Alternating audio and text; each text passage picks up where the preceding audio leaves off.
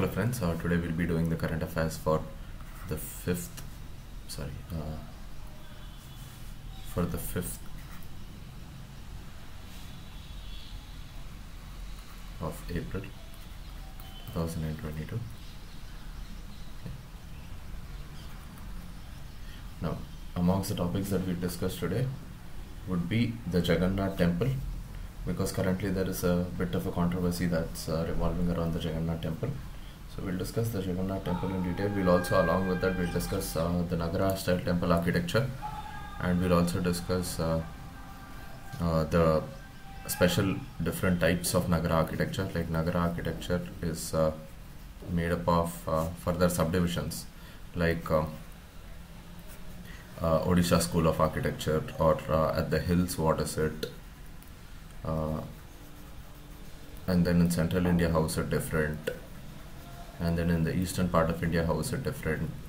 So we'll discuss a little bit in detail uh, regarding Nagara School of Architecture. We'll also do basics of uh, Dravidian School of Architecture.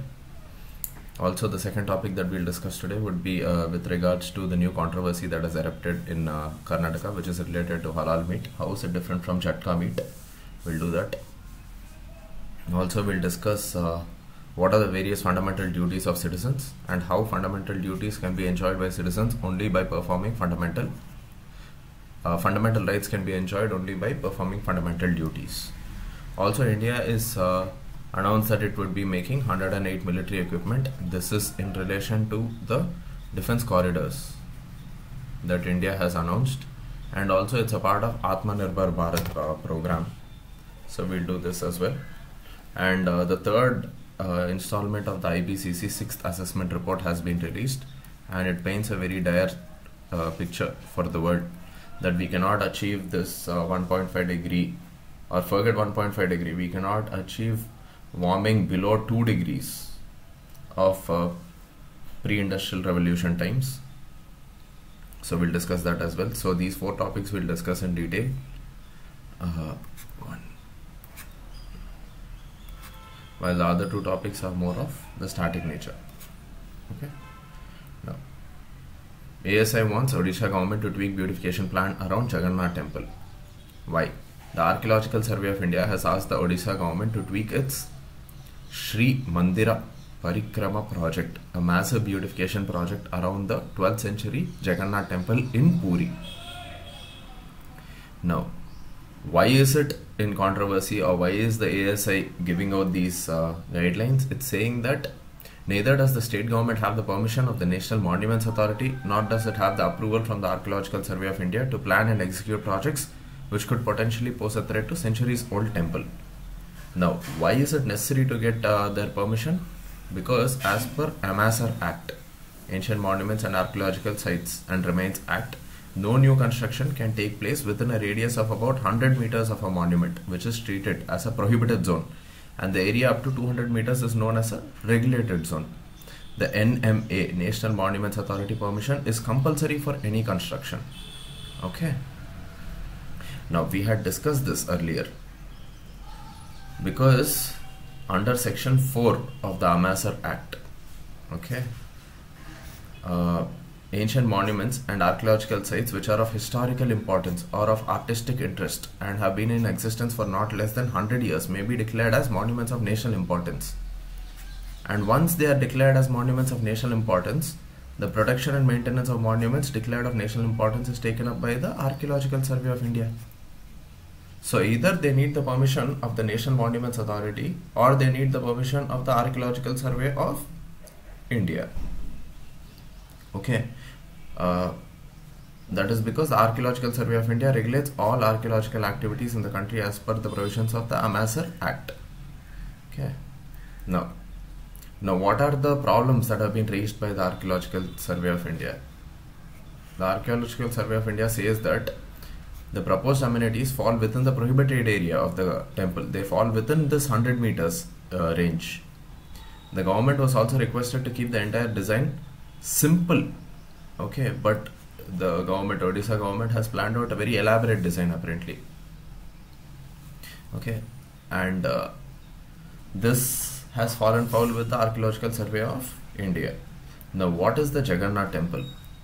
the Jagannath temple is believed to be constructed by the Eastern Ganga king, who King Anantavarman, and it was constructed in the 12th century AD in Puri. Okay.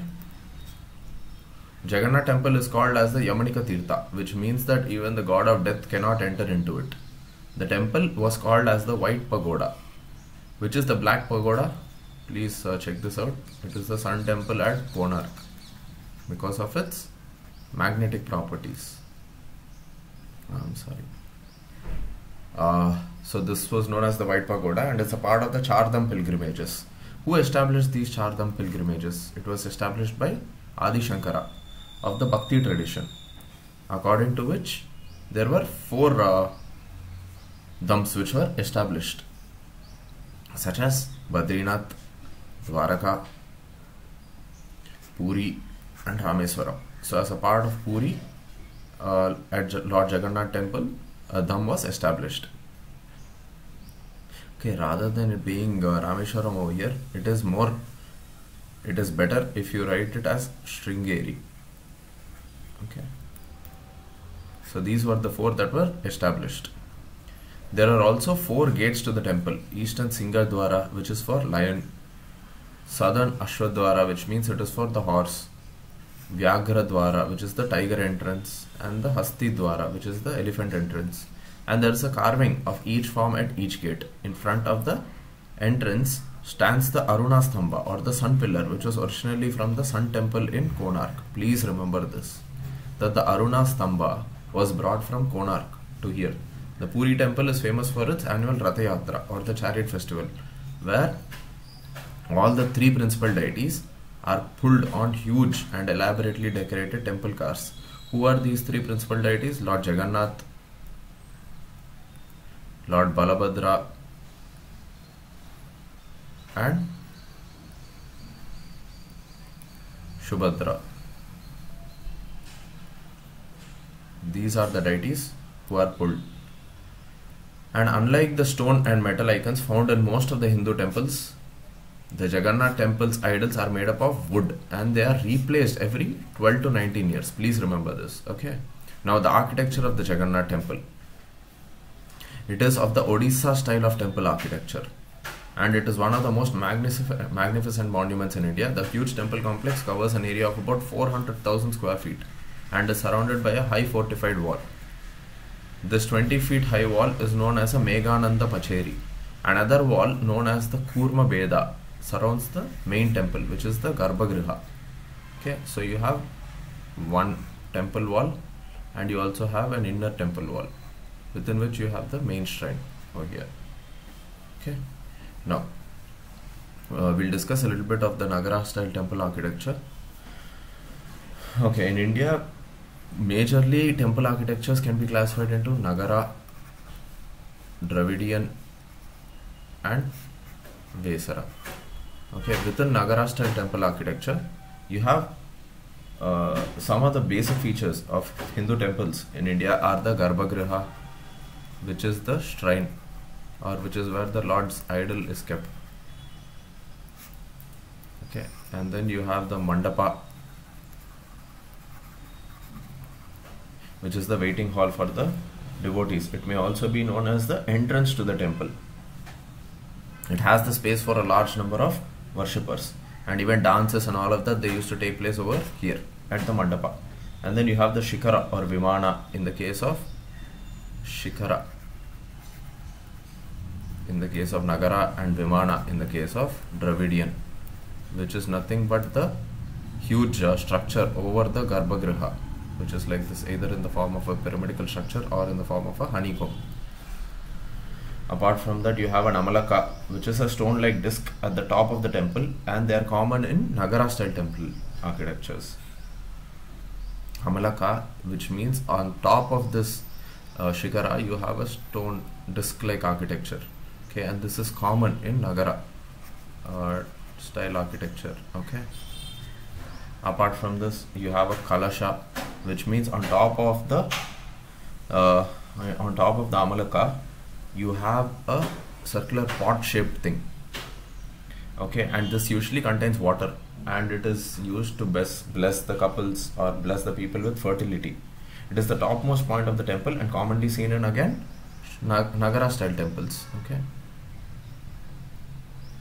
This is the okay. This is the Kalasha. Okay. Apart from that, you have an Antarala. Antarala is nothing but the transition area between Garbhagriha and the Mandapa. Okay. And then you have Vahana, which is the which is the vehicle that is usually taken by the uh, temple's main god okay and also in uh, some dravidian in Dra- dravidian temples you usually have a surrounding wall boundary wall. Okay. Boundary wall. Next you have dwarapalas in Dravidian architecture who are the people who are guarding the Garbhagriha.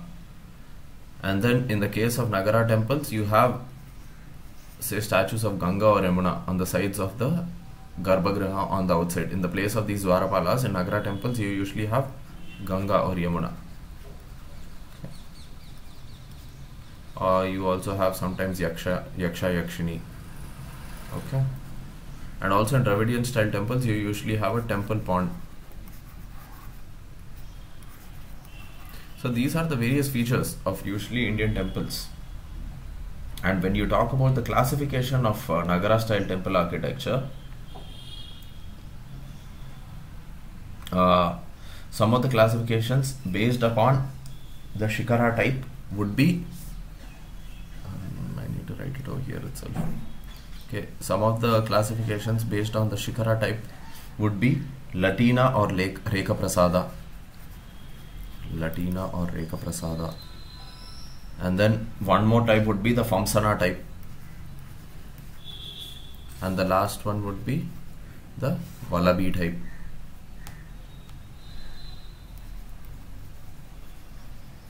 Now, this Latina or Rekha Prasada is the most common type of Shikara it is square at the bottom and the walls curve or slope inwards to a point at the top. Latina or Rekha Prasada, it's like this, okay? The walls are square at the bottom and they curve towards the top. And when it comes to Phamsana, okay, they are broader and shorter than the Latina type. Their roof is composed of several slabs that gently rise to a single point over the center of the building unlike Latina ones which look like sharply rising towers. Okay, so in Phamsana you have slabs. Okay, and these slabs actually rise to a single point at the top. Okay, okay, next. And these are usually shorter as compared to Latina or Rekha Prasada. And in the case of Vallabhi, you have rectangular buildings with a roof that rises into a vaulted chamber. Okay, it's like you have a rectangular base and the roof it is like some sort of a chamber actually it's a three-dimensional thing okay and within Nagara style temple architecture you have different types of Nagara temples in the central part of India and western part of India eastern part of India and the hills okay in the central part of India I'm sure you must have seen Khajuraho temple okay in Khajuraho and then you must have seen the Dashavatar temple in Devgarh in UP and then in the western part of India, you must have seen the Sun Temple in Modhera, Gujarat. That is an example of uh, Nagara style. And then in the eastern part of India, you have different architectures such as the Bengal architecture. Then you have the Orissa architecture. Okay. Now within this Orissa architecture, we have Sun Temple, Jagannath Temple, and all of that. Okay. Now we'll discuss the Orissa uh, style of temple architecture a little bit in detail because uh, since we're doing this right now okay uh, now in Orissa type architecture also the temples are actually classified into three groups. Okay. Uh, one is based on Re- one is the Rekapida group. And the other one is the Pidadula group. And the last one is the Kakradula group. Okay. Rekha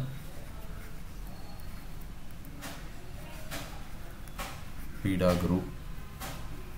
Sorry, Rekapida group. The other one is the Pidadula group. Pida Dula group. And the last one is Kakra Dula group. Kakra Dula group. Okay. Now, Rekapida means it's a tall, straight building with, you know, like say for example, the Jagannath temple. Rekapida will be like uh, the Jagannath temple. That's an example. And then Pida Dula. This is a square building with a pyramid shaped roof. This is like Pida Dula. It's like, you know, this will be more of the Konark style temple.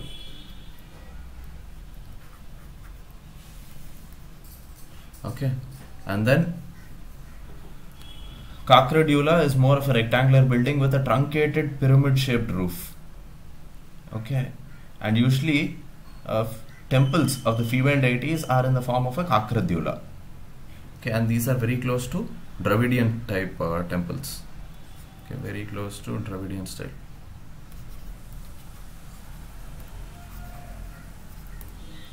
Okay, now uh, pretty much this is what these are the basics of uh, temple style architecture, temple architecture.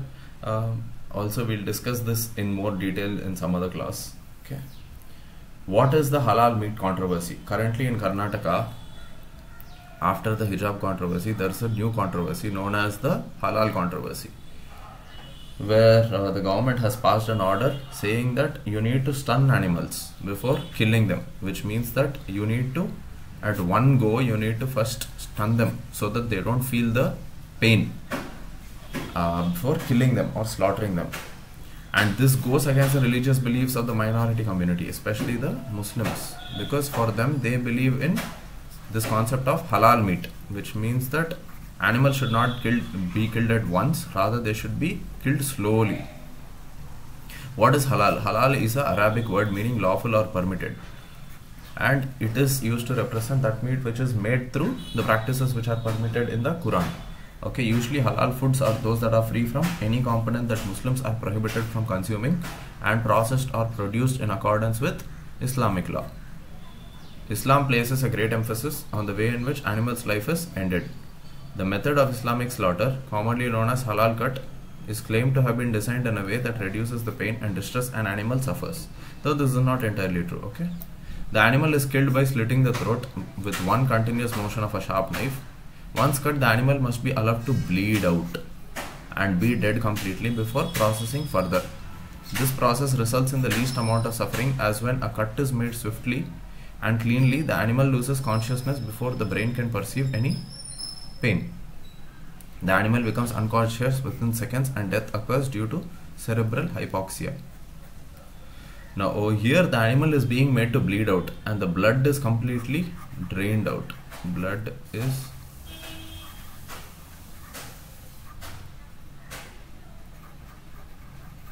completely drained out. Okay. While in the case of Jhatka, the blood is not drained out. Rather, there is one swift motion and the animal is cut or the animal is killed. It is killed instantaneously. There is no bleeding as such. The word Jhatka is believed to have been derived from the Sanskrit word Jatiti, which means instantly, quick. And this type of slaughter is preferred by Sikhs as well as Buddhists Jhatka Karna refers to instantaneous severing of the head of an animal with a single stroke of any weapon with the underlying intention to killing it with minimal suffering. Okay. Now, why is it important in Sikhism? While not all Sikhs maintain the practice of eating Jhatka meat, it has been mandated by all the Sikh gurus. So, the Sikh gurus have supported Jhatka meat consumption. According to Sikh tradition, the only meat that is obtained from an animal which is killed with one stroke of the weapon and causing it instant death, is fit for human consumption. Guru Gobind Singh had also enjoined upon Sikhs to abstain from halal meat introduced by the Muslim ruling class. Why? Because Sikhs were persecuted by the Muslims at that point of time. So that was also one of the reasons why the Sikh gurus supported the consumption of jhatka meat. Okay, jhatka meat.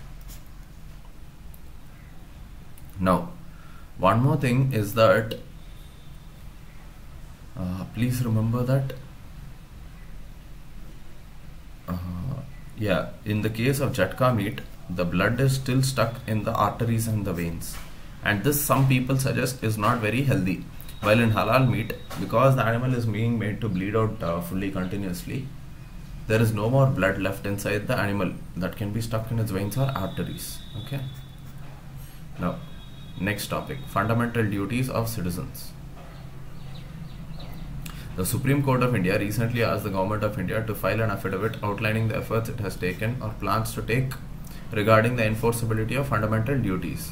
This comes after the Attorney General of India argued that the court should not direct the formulation of a legislation on the subject because the government is working to sensitize citizens and raise awareness about their responsibilities regarding the fundamental duties. Okay, now what are fundamental duties? The 42nd Constitutional Amendment Act introduced fundamental duties, and this was introduced on the basis of the Swaran Singh Committee recommendations, who borrowed it from the Constitution of the USSR because it was believed that duties go hand in hand with rights, and this was introduced in only one article known as Article 51A.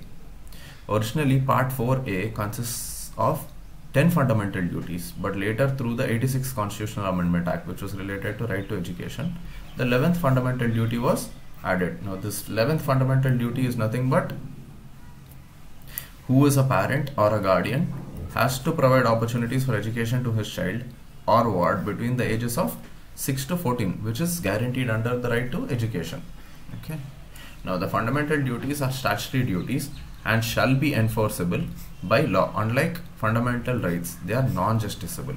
So, only when they are enforced by law can they be implemented. Rather, for their non implementation, you cannot go to the court and say that my fundamental duties are not being implemented, so please give me justice. So, they are non justiciable. However, when the parliament creates a law, then they can be enforced. Okay. So, for example, the Prevention of Insults to National Honor Act is an act of the Parliament of India which prohibits insults to the country's national symbols, national flag, national emblem, the national anthem, the constitution, and people can be booked on under this. Okay, either if you insult the flag, the emblem, the constitution, or the national uh, anthem. Okay, now fundamental duties. What are the different fundamental duties? Okay, uh, the different fundamental duties are to abide by the constitution and respect its ideals, to cherish and follow the noble ideals which inspired the freedom struggle, okay, to uphold and protect the sovereignty, unity, and integrity of India, to defend the country and render national service when called upon to do so, to promote harmony and spirit of common brotherhood amongst all people of India, transcending religious, linguistic, and regional diversities, to renounce practices which are derogatory to women. Please remember this one, this is very important. You can write it in your main answers. That it is one of the fundamental duties. So people need to you know follow it. Now uh, also to value and preserve the rich heritage of our composite culture to protect and improve the natural environment including forests lakes rivers and wildlife and to have a compassion for living creatures okay to develop the scientific temper humanism and the spirit of inquiry and reform to safeguard public property and abjure violence to strive towards excellence in all spheres of individual and collective activity Okay. Now, what is the need for fundamental duties? They serve as a constant reminder to every citizen that while we get fundamental rights, it also requires the Constitution requires the citizens to follow some basic norms of democratic behavior. Okay. Now, to maintain harmony and peace and en- ensure the feeling of brotherhood and oneness, as because India has people belonging to different castes, different religions, etc. It plays a vital role in upholding the sovereignty, unity, and integrity of the country, which is inevitable, which is of inevitable importance. Okay, what are the other criticism? What is the criticism of this uh, fundamental duties? Some of the duties are very vague. Like say, for example, okay, what is this duty to develop scientific temper? How will you measure this? For one person, it might be one thing. For another, it might be another thing. There are no explicit provisions or sanctions pertaining to the execution and enforcement of fundamental duties. Okay. Now also because it has just been given as an appendage, it is given in Article 4 clause sub A. Now what value will it have? it is given in I'm sorry part 4a I, either it should have been given properly as a separate part okay? It should not have been given as an appendage to the DPSPs and that reduces its value. In Atmanirbhar push India to make 108 military equipment. If you have seen okay this infograph talks about the different structural reforms that India tried to roll out uh, under the Atmanirbhar project. So under defense a list of weapons platforms for ban on import will be notified. FDI limit in manufacturing under automatic route to be increased to 74%. So these are some of the steps that have been uh, taken under this Atmanirbhar Bharat. In a fresh impetus to its flagship Atmanirbhar Bharat Abhiyan, the central government will soon, soon start the indigenous production of 108 military equipment, including complex uh, defense systems. The list of the equipment that will be introduced indigenously include advanced defense gear and equipment including new generation of corvettes, radars, light and medium armored vehicles, airborne early warning and control systems AWACS, medium range surface to air missiles, anti tank guided missiles, tank engines, and more. Now, indigenization of defense production. What are the steps that the government has taken for indigenization of the defense production? Okay, the central government has taken several policy initiatives under Make in India program and brought reforms to encourage indigenous design, development, and manufacture, such as the most recent one being this Defense Acquisition Procedure 2020 norms, which, which encourages indigenous production in India itself. We'll discuss this. To make India self-reliant, the Ordnance Factory Board was split up into seven, diff seven different companies from now on. So Ordnance Factory Board is now, it is a company. I mean, they are it is uh, split up into seven different companies in order to ensure proper working. These seven new defense PSUs are 100% government owned corporate entities and will help in improving the country's self reliance. Okay, apart from this, even the government has introduced something called as the defense industrial corridor.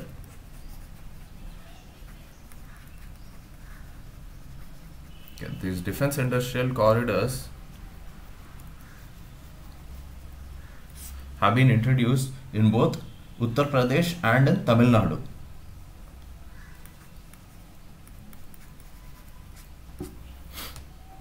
Now, the defense industrial uh, corridor of uh, UP or uh, the defense industrial corridor of Tamil Nadu has some features. Okay, they have single window approvals.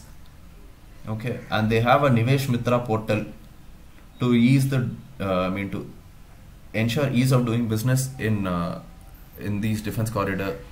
Okay, one is the Nivesh Mitra portal and you have single window clearance for most of the permissions. Okay. Okay. And they'll have uh, assured water supply uninterrupted electricity connectivity with four lane uh, highways and uh, proper labor permits towards flexible uh, employment and all of that for these two uh, defense industrial corridors. Now what is a defense corridor it is a route or a path along which domestic productions of defense equipment by public sector, private sector and MSMEs are lined up to enhance operational capability of the defense forces. So any industrial corridor, like other industrial corridors, in the defense industrial corridor, you'll have defense establishments. Let it be private sector, let it be public sector, or let it even be MSMEs. And these defense establishments will try to improve the defense capabilities of the country. Okay. It will provide a fillip to defense manufacturing ecosystems in India. Now, uh, we will uh, go into what are the items that are planning to be exported. India's defense exports have recorded nearly a six-fold increase between 2017 to 2021, growing from 1,500 crores to 8,400 crores. Look at the massive jump in the Indian exports. These exports are actually being uh, done through these defense expos we have several defense expos, the major one being in uh, Uttar Pradesh and Lucknow. So because of these defense expos, India has been increasing its defense exports, like export of BrahMos to Vietnam. Okay. And uh, export of uh, submarines like Jalashwa and all to Myanmar. Okay.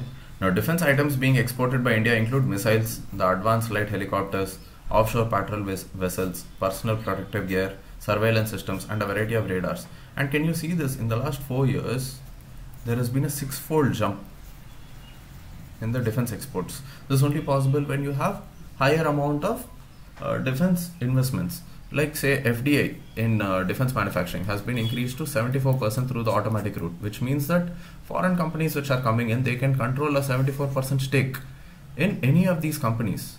Let it be private or let it be public sector. Okay. Now, defense acquisition procedure 2020. It has been established as a potential catalyst for the Atmanirbhar Bharat Abhiyan.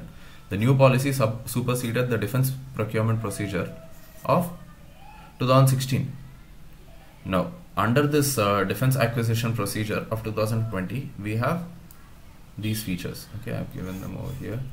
Reservations for indigenous firms. The policy reserves several procurement categories for indigenous firms.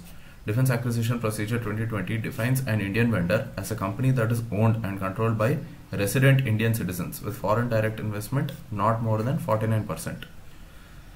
Okay, so these uh, indigenous firms they have several procurement categories which are reserved for them. Okay. Now please remember this. And these Indian companies or indigenous firms should not have FDI more than 49%, which means that the majority stake of 51% li- should lie with indigenous uh, entities, resident indigenous entities. Okay.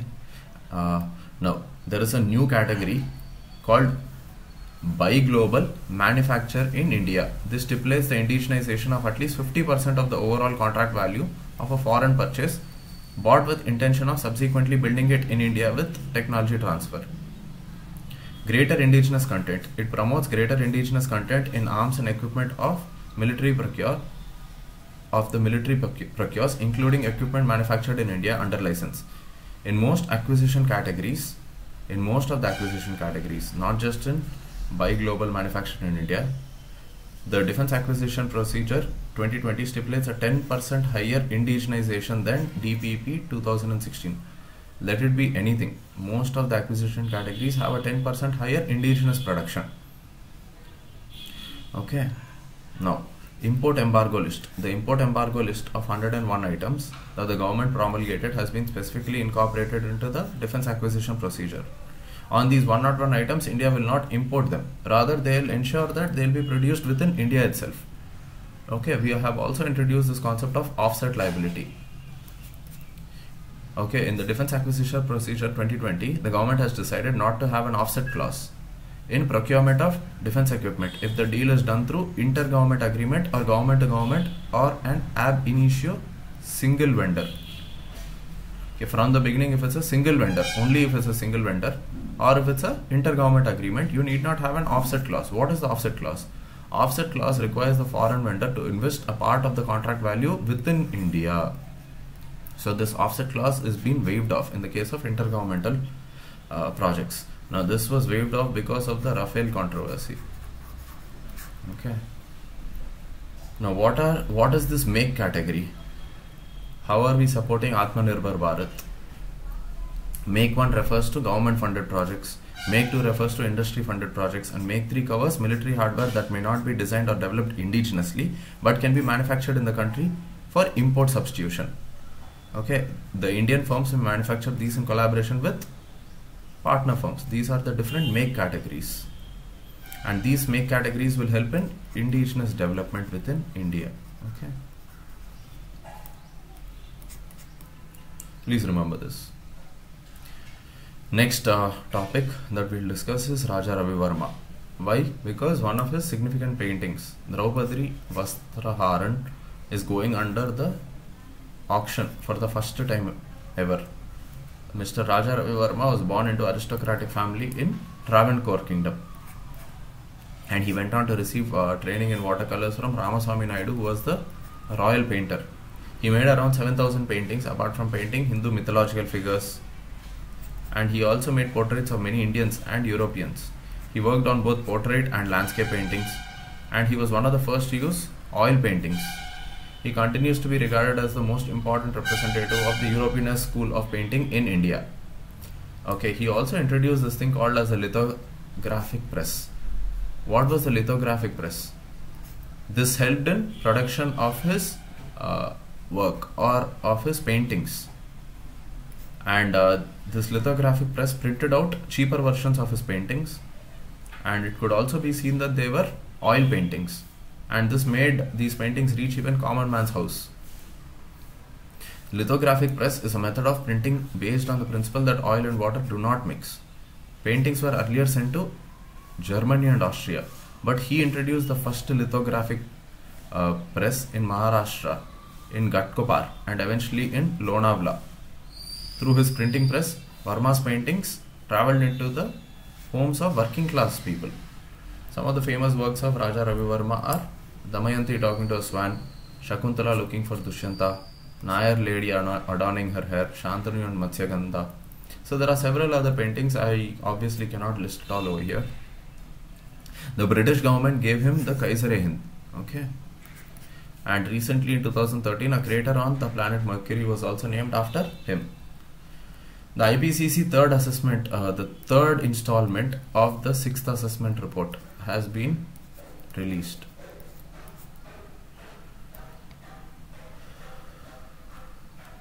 And uh, the IPCC has given a very stark warning in its third uh, installment.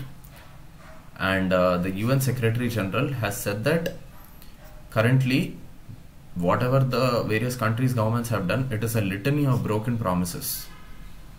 Because after reading this report, he believes that you know we are not going anywhere with climate change, and all the governments have just broken their promises. What is IPCC? It's a United Nations body for assessing the science related to climate change. It was set up in 1988 by the World Meteorological Organization. Please remember this. And the UNEP. The UNEP itself was set up in 1972 based on the Stockholm Convention. And after that, the UNEP along with the World Meteorological Organization set up the IPCC. Now, what is this IPCC in 1988? Now, what is this IPCC? It is not there for uh, engaging in scientific research. Rather, it asks scientists from around the world to go through all the relevant scientific literature related to climate change and draw up logical conclusions. So, it's a grouping of scientists and they go through the material rather than they themselves or this IPCC itself engaging in uh, research. Its main activity is to prepare the assessment reports, special reports, methodology reports, assessing the climate change. And currently we have the sixth assessment report. Okay uh, above in the infograph I have given the various assessment reports that have been released along with the year in which they were released. First report was in the year 1990 two years after its formation second report was 95 third report was 2001 after that 2007 2014 and again you can say that they were formed in intervals of around say uh, 6 to 7 years. Every six to seven years there was an assessment report. Now what are the features of this uh, new sixth assessment report? Okay, uh, sorry, before that we will see what assessment reports are. They are produced every few years, are the most comprehensive and widely accepted scientific evaluations. When it comes to Earth's climate, they form the basis of government policies to tackle climate change and provide scientific foundation for the international climate change negotiations. Six assessment reports have been published so far. The first part of this sixth assessment report was published in August 2021. Okay, and it flagged more intense and frequent heat waves, increased incidence of extreme rainfall, dangerous rise of sea levels, prolonged droughts, melting glaciers, and said that 1.5 degrees Celsius warming was much closer than what was thought earlier. And it is also inevitable. That means that whatever the countries do, you cannot avoid this 1.5 degrees warming as compared to pre-industrial levels. The second part of the report of uh, sixth assessment report warned that multiple climate change induced disasters were likely in the next two decades even if strong action was taken to reduce the emission of greenhouse gases. Now what is the third assessment report? What are the key points? Temperatures on earth will shoot past a key danger point unless greenhouse gases emissions fall faster than countries uh, that have committed under the Paris Agreement. Unless and until you do better than that, the uh, temperatures will shoot past a danger point. Also, the projected global emissions place limiting global warming to 1.5 degrees beyond reach and make it harder after 2020 2030 to limit warming warming to 2 degrees celsius. So currently what are the governments are doing are clearly not enough. Unless countries step up their efforts the planet will on an average increase by 2.4 uh, degrees celsius to 3.5 degrees celsius by the end of uh, the century which means 2100 also 40% of the emissions came from Europe and North America and over only 12% can be given to East Asia including China. China took over the position as the world's top emitter from United States. Okay. Now the authors have also given different ways in which uh, the temperature can be kept uh, below 1.5 degrees Celsius such as removal of carbon dioxide and then pumping aerosols into the sky and then shift away from fossil fuels towards uh, renewable energy and financial support to poor countries and also one uh, move which is described as a low hanging fruit and which can be achieved by scientists is to, is to plug methane leaks from mines wells and landfills. Okay